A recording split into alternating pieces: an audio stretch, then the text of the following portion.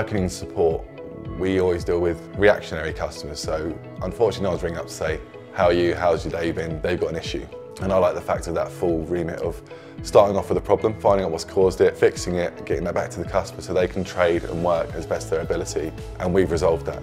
So I love that feeling of achievement that we've fixed an issue a customer's had so they can trade and carry on their business. The benefit of the support team working alongside the professional services and development team um, is that all, all teams have something to offer. Although perspectives may vary, we are all chasing a common goal, which is customer satisfaction. What's really great about Intact is although we've grown over the years, our culture hasn't changed. We can directly liaise with the teams and ultimately get the customer a really quick resolution. I don't see the support team just made out of people that uh, work in support. It's everybody that works at Intact Software.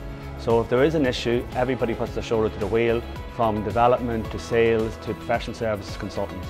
Everybody who works in the support desk has an in-depth knowledge of our product suite and is willing and able to help at any time of the day.